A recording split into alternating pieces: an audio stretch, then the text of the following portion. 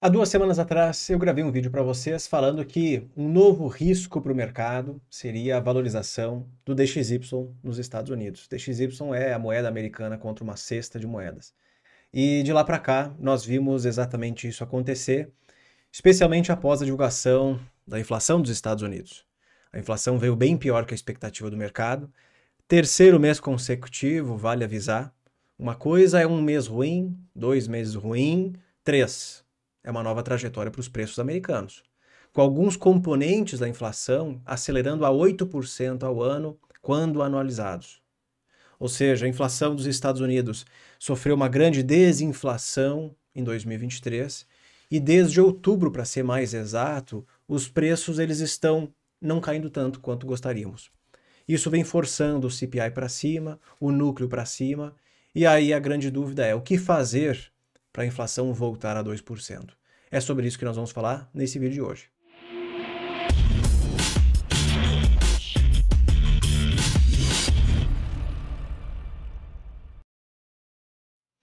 Bom, DXY é um ativo muito acompanhado pelo mercado porque ele influencia diretamente sobre ações, bolsas, países emergentes, então mercados de países emergentes e também commodities. Por mais que o DXY esteja rompendo uma linha de tendência que vem lá desde 2022, que foi rompida na semana passada, então uma semana depois da divulgação desse vídeo específico sobre DXY, rompeu, voltou aqui para essa linha de tendência de queda, então foi um falso rompimento.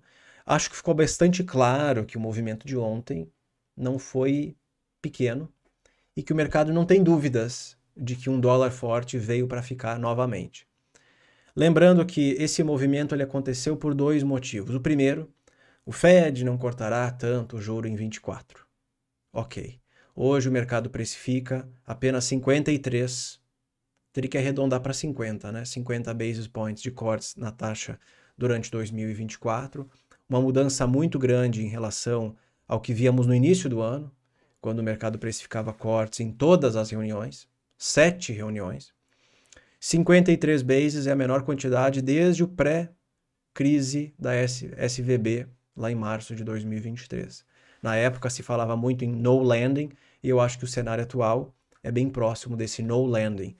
Uma economia muito quente, uma, um desemprego muito baixo e com contratações líquidas mensais muito grandes, que é o payroll, né? E junto a isso, um governo gastando muita grana. O governo Biden também é responsável por isso, uma inflação pegajosa. Mas também tem uma culpa aqui do Fed. Tem sim a culpa do Fed, porque as condições financeiras elas estão muito expansionistas. Quando o Banco Central pretende desacelerar a inflação, ele não apenas sobe a taxa de juro. A elevação do juro produz efeitos variados sobre a economia. Economia e mercados. Primeiro efeito que isso tem sobre mercados é bolsas caem. Bolsa cai, os yields, os rendimentos dos títulos sobem, a moeda local se valoriza e os spreads de crédito aumentam. Então nós vimos lá em 2022 bolsa caindo, o juro de 10 anos subindo, 20 anos subindo, 30 anos subindo, os spreads de crédito aumentando, a volatilidade do mercado de renda fixa aumentando, o dólar se valorizando. De lá para cá, muita coisa aconteceu. O juro saiu de zero para 5,5, só que a partir de outubro de 22, as condições financeiras começaram a afrouxar lentamente. E desde, eu diria, novembro de 2023, afrouxaram muito rapidamente. As condições financeiras afrouxaram rapidamente. Isso aconteceu porque S&P 500 disparou em alta. Então, para quem não sabe, a alta da bolsa de valores, principalmente S&P 500, mercado americano, que tem uma quantidade muito grande da população, né, de investidores da população ativamente aplicando o seu capital, quanto mais a bolsa sobe, mais isso gera um efeito riqueza. É, a tradução é de wealth effect. É um efeito riqueza positivo. O cara tem um milhão de dólares investido em bolsa, a bolsa sobe 10%, ele ganhou 100 mil. Ah, quer saber? Eu vou pegar esses 100 mil dólares, eu vou comprar um. Eu vou trocar de carro, vou fazer uma viagem. De alguma maneira, esse ganho financeiro que ele teve foi usado para um consumo, para um consumo diário, para suas necessidades diárias. Então é como se a bolsa de valores afetasse também a economia, a atividade. Então, quanto mais a bolsa sobe, maior o efeito riqueza positivo que isso gera, as pessoas ficam ricas e usam esse capital para consumir. Então, a bolsa sobe, isso gera um estímulo econômico. É uma conexão entre bolsa e economia. Bolsa é mercado, economia é consumo, é desemprego, é inflação e outras coisas. O Fed deixou o mercado americano subir demais, na minha opinião. Demais. Ele deixou os juros, os yields caírem demais, na minha opinião. Que é esse movimento recente que nós vimos. S&P 500 desde, cara, desde novembro subiu 27%. O juro de 10 anos, ele caiu até a mínima, tá? Na virada do ano, até, até janeiro, ele caiu 117 basis points, é esse número aqui, ó. Poderia dizer que caiu 23%, mas como nós estamos falando de um, um percentual, fica melhor, fica mais fácil, é mais entendível dizer que os juros caíram 117 basis points. É um movimento muito grande. Isso aqui gera um estímulo econômico. Dentro do cálculo das condições financeiras que o Fed faz e que nós utilizamos, quanto mais a bolsa sobe, quanto menor a volatilidade, quanto mais os juros caem, maior é o estímulo monetário que isso tem sobre a economia. Então, para o Fed controlar essa recente inflação que vocês viram, que é, preocupou no quesito serviços, ele precisa fazer com que ou o dólar se valorize no mundo para diminuir as exportações americanas, que seria uma forma de você desacelerar a atividade, ou ele precisa fazer com que os juros eles subam muito mais, e esse movimento vem acontecendo sem o Fed falar absolutamente nada, sem o Powell falar qualquer porcaria para gente, porque na minha opinião eles estão falando muita porcaria, eles se dizem data dependent, dependentes de dados macroeconômicos. Quando os dados vêm levemente positivos, gente, os dados estão maravilhosos. Soft landing é uma forma como o Powell fala durante as coletivas. É, acreditamos no soft landing. Quando os dados vêm ruins, como foi inflação de janeiro e fevereiro, o que o Powell disse para a gente na reunião de março, dia 20 de março? Sazonalidade. Hum, essa inflação aí veio ruim por causa da sazonalidade. Automaticamente mercados engataram uma alta. Por quê? Gente, se os caras estão falando que a inflação veio alta por causa da sazonalidade e o Fed sabe mais informações do que nós, eles sabem de muita coisa, tem acesso a outros dados que nós não temos, se a culpa é da sazonalidade, a sazonalidade é algo não recorrente. Acontece um, dois meses e depois deu. Qual é a desculpa agora?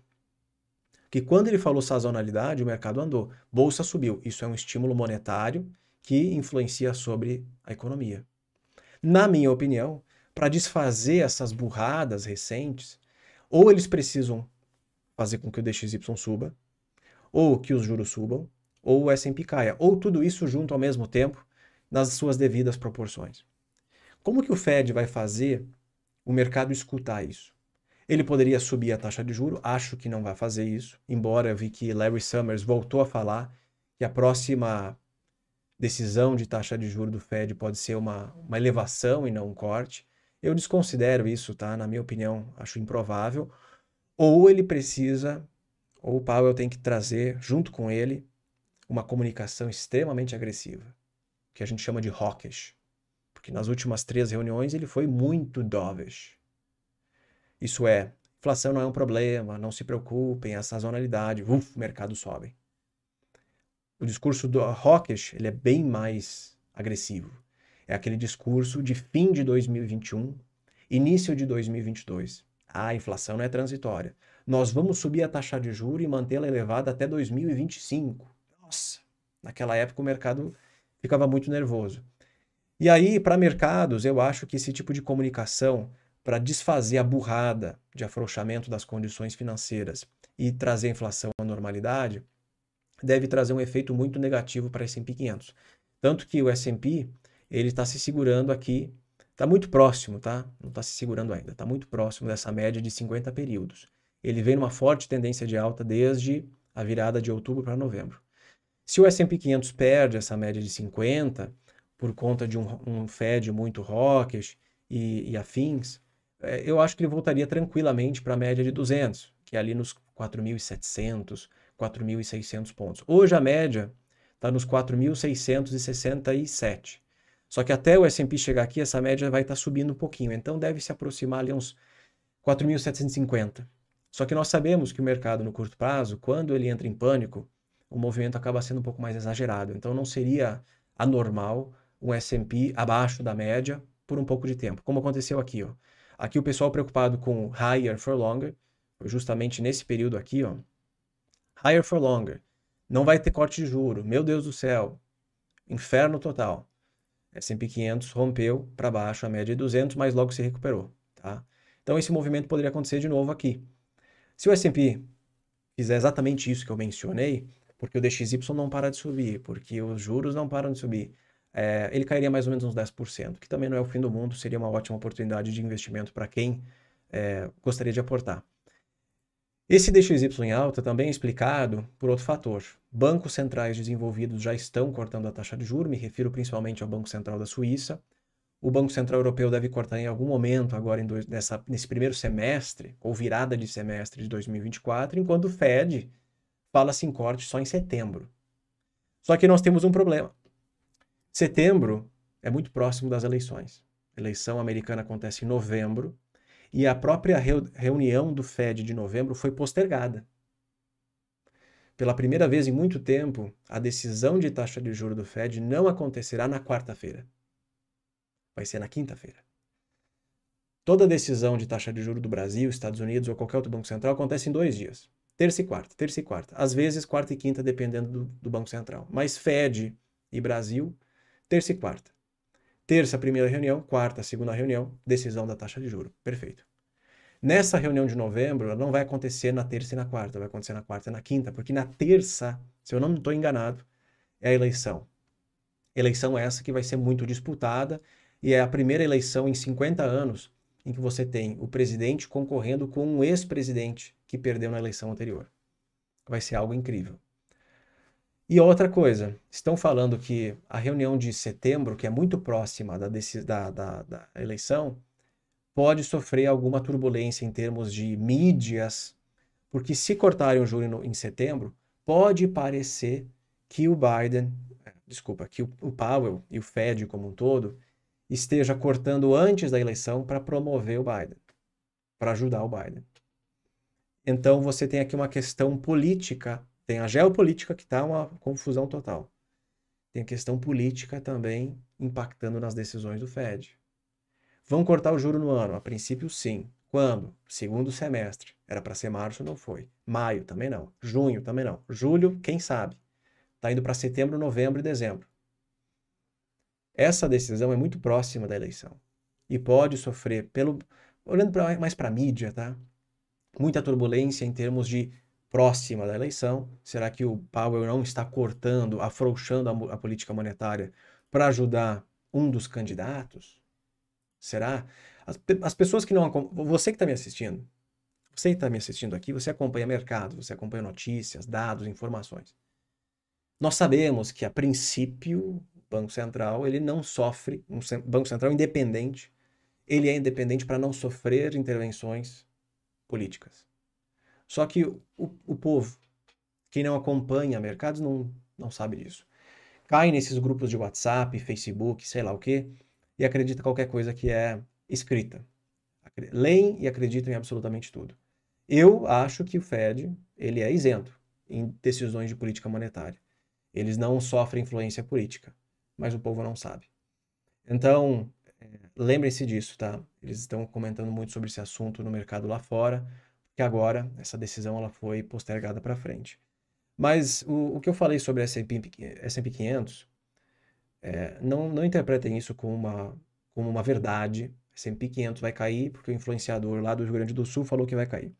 O que eu falei aqui é que se essas coisas acontecerem da maneira como eu descrevi, o Powell precisa é, apertar as condições financeiras, é natural que juros subam, dólar se valorize e bolsas caiam, principalmente a bolsa americana. É natural isso.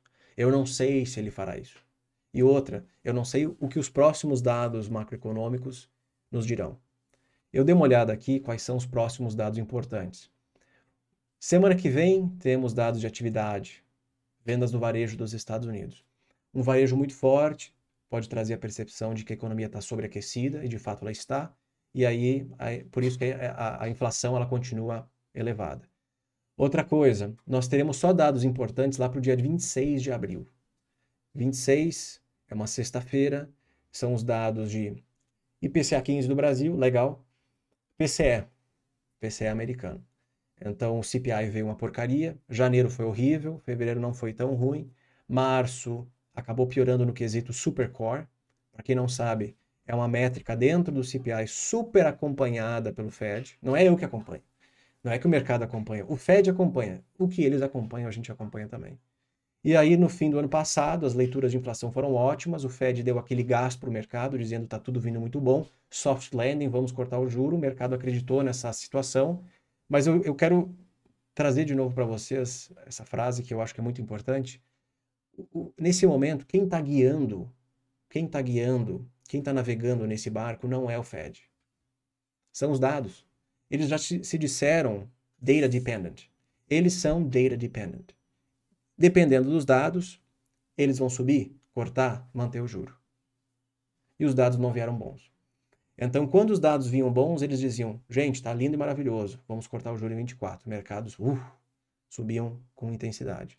Quando os dados não vieram bons, eles culparam a sazonalidade. E aí? Tem que reverter essa situação. Quem vai reverter? Tem que ser o presidente do Banco Central, não podem ser os outros aí, é, membros do comitê que falam isso. Quem tem que sentar e dizer para o mercado, tá aqui, ó, inflação não veio boa, precisamos continuar batalhando contra a inflação, é o Powell, que é o presidente, é muito mais respeitado pelo mercado do que o resto. Então houve um erro de comunicação. Me perguntaram no Instagram esses dias se a comunicação do Fed está equivocada, muito equivocada. Principalmente na reunião de dezembro, só que era rally de Natal, aquela coisa toda. Além de dezembro, víamos agora em, em março, no dia 20 de março, uma comunicação horrorosa. A inflação não veio boa. Ah, não, mas é sazonalidade. Então é preciso reorganizar isso aí. Uma maneira simples, fácil, de fazer o mercado perceber que a inflação não é boa e que o Fed tem que manter o juro alto por mais tempo e apertar as condições financeiras é trazendo uma comunicação, uma comunicação agressiva. E isso não deve produzir, na minha opinião, os efeitos, é, não deve produzir, não deve ajudar muito na, nessa trajetória, nessa tendência de alta do S&P 500. Os próximos dados, como eu mencionei, podem influenciar isso. E aqui nós temos um PCE no fim do mês. Então, o que eu falei para vocês não precisa acontecer exatamente dessa maneira, tá? Mas fiquem de olho. Fiquem de olho porque DXY em alta, juro de 10 anos em alta, condições financeiras excessivamente expansionistas, ah, com o Fed precisando apertar elas de novo para trazer a inflação à meta, não produz um efeito bom para S&P 500, ok? Então fiquem bastante de olho nessa média de 50 períodos, porque se romper essa média de 50 períodos, pode voltar lá para 4.600 pontos, tá? Lembrando que S&P 500 está sobrecomprado no curto prazo, eu falo isso desde a virada do ano. Eu falo isso desde a virada do ano. É preciso um motivador para o S&P 500 voltar a cair. E como ele estava em, em, tendência de alta por um bom tempo, uma tendência de alta forte, em, em pouco tempo até eu diria, tá? subiu 30% em 4, 5 meses. Até o mercado perceber que a situação está complicada, ele demora para virar. Ele demora para virar. Então eu sei que alguns membros do canal estão vendidos em S&P 500. Essa operação, eu queria ter feito ela na segunda-feira, eu acho. Eu não lembro quando eu comentei sobre o assunto, segunda ou terça. Agora eu acho que até valeria a pena, tá? Um deles tem uma. Um deles, aqui membro do canal, tem uma ETF três vezes alavancada na venda. Eu até comentei com ele, ele citou a, a mesma operação. É, entrar vendido, eu acho que ele entrou vendido nessa no dia 4, com stop na máxima histórica. Então, se o S&P 500 voltar a subir, tranquilo, não tem problema nenhum. Stop na máxima histórica. A única questão é que é três vezes alavancado na venda. Se você entra agora e o mercado sobe, digamos aqui, ó, ele sobe é, 3%, isso dá quase 10% na cara nessa operação, tá? Tem que cuidar esse tipo de coisa. Sei de uma galera, mas daí não é membro do canal, que está alavancado na compra de juros americanos, TMF, que é o equivalente ao juro de 10 anos, ou melhor, 20 anos, alavancado três vezes na compra, TMF. Nesse movimento recente de alta dos juros longos, é normal os títulos se desvalorizarem bastante, muito mais do que títulos mais curtos. por conta da relação entre duration e a variação do preço do, do papel. TMF é três vezes alavancado. Então vejam só, desde a divulgação, a inflação foi ontem, né? Em dois dias, o cara perdeu quase 6% em renda fixa. Dois dias. Apenas dois pregões. Não foi um ano, não foi dez anos. Lembrando que 5,69, que é o número que está ali, ó, menos 5,69, é um pouco mais do que um ano inteiro de aplicação em renda fixa nos Estados Unidos. A taxa de juros é 5,5, então o que demoraria um ano para ganhar em renda fixa de curto prazo, o cara perde em dois dias, dois pregões. Ok? Sendo que eu mencionei com vocês recentemente que a recente comunicação do Fed, 20 de março, foi muito bizarra porque não era condizente com um cenário de reaceleração de preços, de inflação. Tanto que eu citei aqui e também nas redes sociais que aparentemente a fala do dia 20 de março ela é tão dovish para dados é, inflacionários ruins que parece que o Fed está concordando que a inflação não vai voltar a 2. Ele está tolerando uma taxa de inflação mais alta. Bom, se a inflação vai ficar mais alta nos próximos anos, por que, que eu vou comprar juros por que eu vou comprar renda fixa de longo prazo dos Estados Unidos? Se até a de curto prazo não vai, a taxa de retorno nem será tão grande assim em termos reais. Correto? Eu até estava lendo um livro ontem que renda fixa é um ativo gerador de, de renda de juros. Qual é o maior risco de um investimento de renda fixa? Qual é o maior risco do investimento em renda fixa? Eu não vou responder. Vocês respondam aí nos comentários e eu vou responder no próximo vídeo, pode ser? Então, qual é o maior risco de um investimento em renda fixa? É? Coloca nos comentários que a gente responde em breve. Obrigado, deixe o seu like nesse vídeo, inscreva-se no canal e até mais.